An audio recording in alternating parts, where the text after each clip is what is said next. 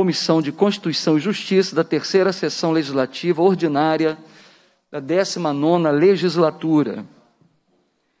A presidência, nos termos do parágrafo 1 do artigo 132 do Regimento Interno, dispensa a leitura da ata da reunião anterior, considera aprovada e solicita sua subscrição. Esta reunião se destina a apreciar a matéria constante na pauta e a receber, discutir e votar proposições da comissão. Comunicação da presidência. A presidência informa que, conforme o artigo 120, inciso 1 do regimento interno, todas as votações dessa comissão serão simbólicas. Os votos contrários dos deputados devem ser feitos por meio dos microfones, que permanecerão abertos durante toda a reunião.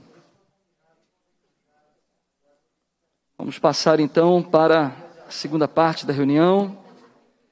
Primeira fase, que compreende a discussão e a votação de pareceres sobre proposições sujeitas à apreciação do plenário. Vamos chamar então o projeto de lei complementar número 60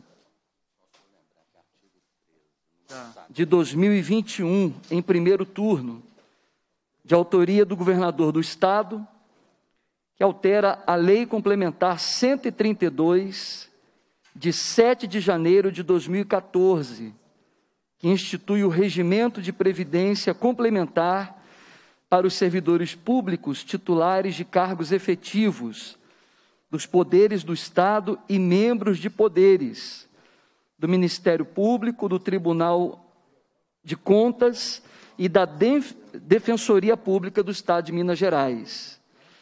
Fixa o limite máximo para a concessão e aposentadorias e pensões de que trata o artigo 40 da Constituição da República. Autoriza a criação de entidade fechada de previdência complementar na forma de fundação e da outras providências.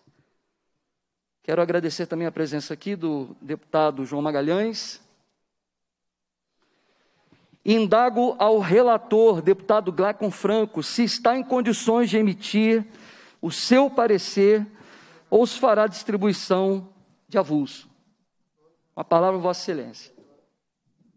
Bom dia a todos. Senhor presidente e demais deputados, eu solicito que o PLC 60 de 2021 seja distribuído em avulso. Obrigado, deputado. Obrigado, relator. A distribuição de avulso é regimental. Quero registrar também a presença do deputado Guilherme da Cunha. Indago se algum membro da comissão deseja fazer algum pronunciamento. Ok. Cumprida a finalidade da reunião, a presidência agradece a presença dos parlamentares, convoca os membros para as próximas reuniões extraordinárias a serem realizadas hoje, dia 1 de julho, às 16 horas, com pauta previamente publicada, e às 16 e 05 com finalidade de apreciar a proposta de emenda à Constituição número 68 de 2021 e o projeto de lei complementar 60 de 2021 determina a lavratura da ata e encerra os trabalhos. Bom dia a todos.